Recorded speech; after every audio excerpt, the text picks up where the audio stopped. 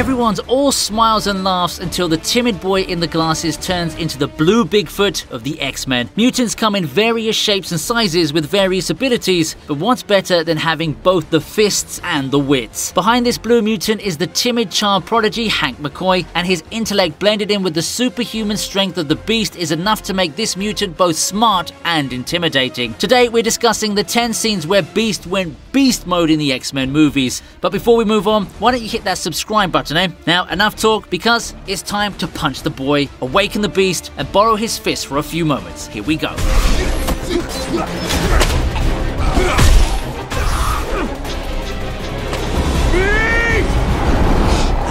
Number 10, Azazel vs. Beast. Azazel's a teleporting mutant and one of the oldest allies of Sebastian Shaw. He's the best martial artist within the Hellfire Club, and his tail is a sheer instrument of death. Towards the end of X-Men First Class, the X-Men come face to face with the Hellfire Club. Shaw's bent on causing a nuclear war, Charles Xavier is determined to stop him, and Magneto wants revenge from Shaw for killing his mother. Among this mishmash of objectives, Beast and Havoc take on Azazel. We sit at the edge of our seats and watch as Azazel almost plunges his deadly tail through Beast's skull. As tough as he may be, everyone needs saving sometimes. And who better to save his life than the love of his life herself? Mystique distracts Azazel long enough for Beast to knock his lights out.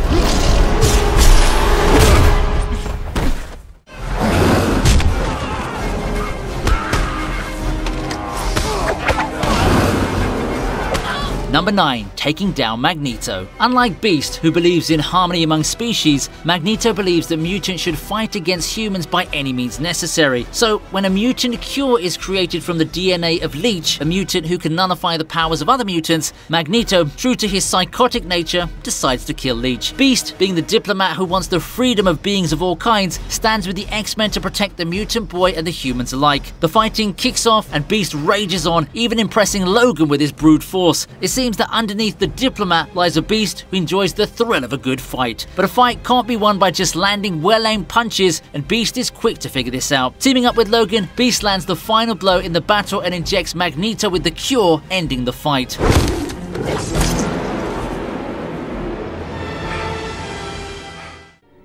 It didn't attack the cells. It enhanced them. It didn't work. Beast or Hank McCoy, desperately wants to get rid of his physical mutation, a desperation leading to a Jekyll and Hyde scene which we'll talk about later. Hank is the brains in the team. I mean, the guy single-handedly designed Cerebro, not to mention the special suits he made for Havoc and Banshee, allowing them better control of their powers. As the team gets ready to face Shaw, they find a box containing their new suits designed by Beast. The hideously yellow suits make us realize that as smart as he may be, Hank's sense of fashion is questionable at best. Do we really have to wear these? Like them or not, these suits were the same ones worn by the team in Dark Phoenix when they went for their outer space mission, so they must be pretty effective. Timid Hank eventually suits up and emerges to be a total badass, his mutations enhanced by his serum gone wrong. Beast takes his first steps in being comfortable in his own skin and flaunts his genius, asserting to the team that he can obviously pilot the plane he designed. Never look better, man. Hank? Don't mock me.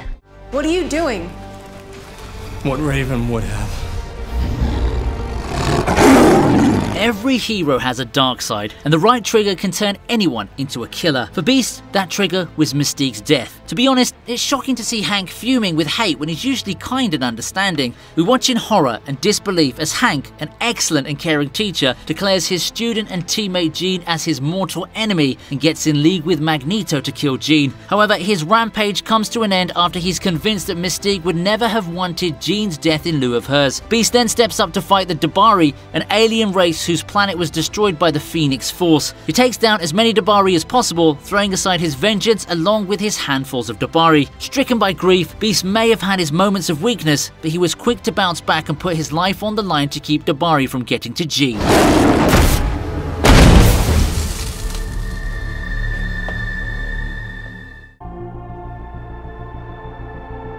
Professor?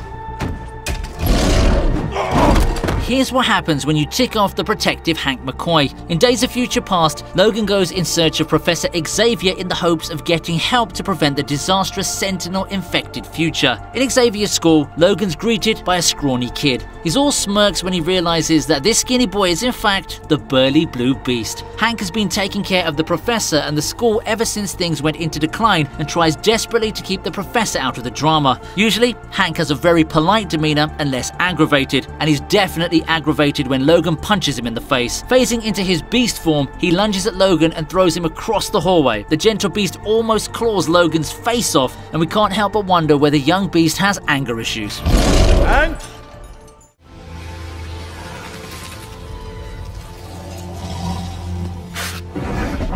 So it's no secret that Beast is head over heels in love with Mystique ever since he laid eyes on her. But life just becomes brutal when you realize that the love of your life is responsible for an apocalyptic future. In Days of Future Past, Logan, accompanied by Beast and Magneto, managed to foil Mystique's assassination attempt of Trask since his death paves the way for the ghastly Sentinels in the future. Now, in the movie, Mystique escapes this mayhem and sneaks into a hospital to get her bullet wounds treated, but in a deleted scene, she returns to Xavier's mansion. Beast tends to her wounds, and things get steamy between the two. It's no surprise that Beast forgives Mystique for causing an apocalyptic future in a few skipped heartbeats. They morph into their mutant forms and kiss passionately, taking on a matching blue hue. Clearly, Hank's dislike towards physical mutation has changed significantly since he last saw Mystique, as he admits to her that even though the world may think of them as ghastly, he believes her to be beautiful. He was mutant and proud.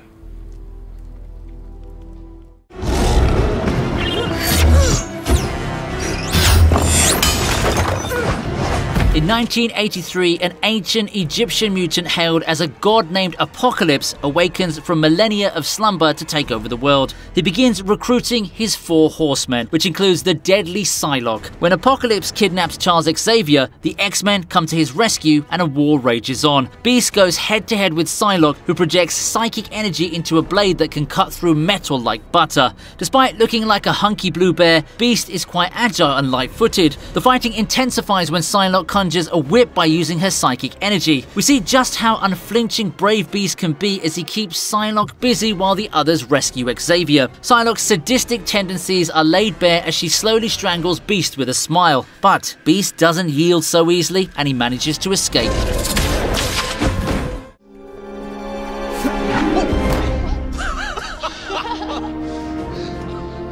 Ah. When the X-Men introduce Hank, he's a skinny young man in his 20s, a child prodigy who graduated Harvard at the age of 15. Although he later becomes a representative for the mutant community, young Hank was shy and ashamed of his mutation. Xavier, Erik, Moira and Raven walk into a covert facility where Hank's busy at work as a researcher for the CIA. Hank squirmed uneasily when Xavier exposed him, and it's clear that he's not so confident or proud of being a mutant. When B sees Raven, it's love at first sight at least for Hank that is. Encouraged by his new friends, Hank reveals his claw-like feet. Judging by the way Hank fidgets, we can guess that his feet were never received with such amazement and awe. Beast's confidence lights up with their smiles, and it's evident that they're going to make a great team. You're amazing.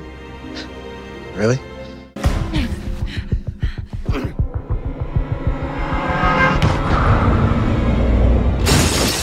In the runner-up spot we have Beast versus Magneto. Like we said earlier, Beast usually has a very polite and calm demeanor and less aggravated, and what better way to aggravate him than threatening Mystique's life? We've already seen that he was even willing to kill Jean, his own student and teammate, so there wasn't a moment's hesitation when he took on Magneto for trying to kill Mystique. Magneto's psychotic brain conjured up the idea that murdering Mystique would prevent the slaughter of mutants in the future. With this in his mind, he prepares to kill Mystique when Beast comes to her rescue. Beast generally dislikes appearing in public in his mutant form. He even goes so far as to conjure up a serum that helps him retain his human appearance, but he shoves all these insecurities away for Mystique. In the end, Magneto manages to restrain Beast and escape, but for Beast, the fight was already won since Mystique was saved.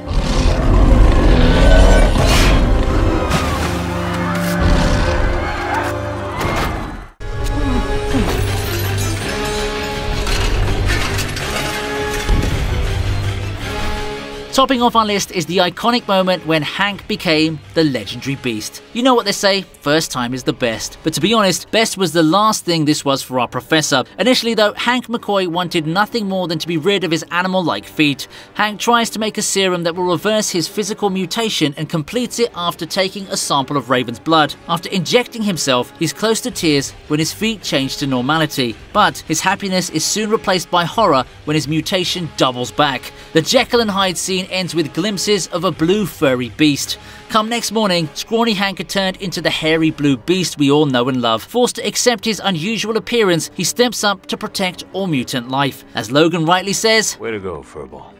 So, did you get enough of our badass blue professor either smashing things, being smart, or just having some quality time with Mystique? Sound up down below in the comments about your favorite beast moment, and if I've missed something, why don't you do that scene justice by mentioning that below as well? That's it for today, Mutant fans. I'll see you next time on the TV Regent.